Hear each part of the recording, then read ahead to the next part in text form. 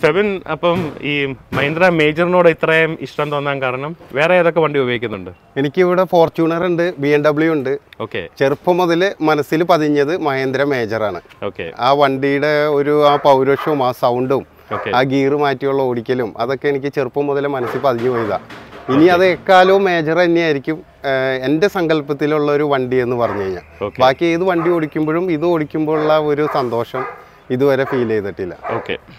ഇതായിരുന്നു ഫെബിന്റെ main requirement നമ്മൾ ഈ ഒരു ജീപ്പ് മേജർ ചെയ്യാൻ തുടങ്ങിയപ്പോൾ മേജർ എന്ന് പറഞ്ഞു കഴിഞ്ഞാൽ അതിന്റെ ആ ഈ ഒരു കളറ് എനിക്ക് ആ കളറിന്റെ കളർ ആ ഒറിജിനൽ കളറ് പിന്നെ അതിന്റെ ഗ്രില്ല്.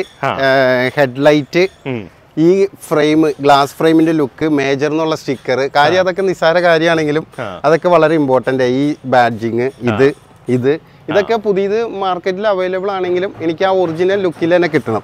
പിന്നെ ഈ ബമ്പർ ഇങ്ങനെ വന്നേക്കണത്. ആ അപ്പൊ അങ്ങനത്തെ കുറച്ച് ഒറിജിൻ പടുത ആ. ഒരു ഷേപ്പ് അതൊക്കെ അങ്ങനെ തന്നെ നിലനിർത്തിക്കൊണ്ട് അന്ന് ഷോക്കും ലീഫും അതൊക്കെ കംഫർട്ടിന് വേണ്ടി വേണ്ടിയിട്ട്.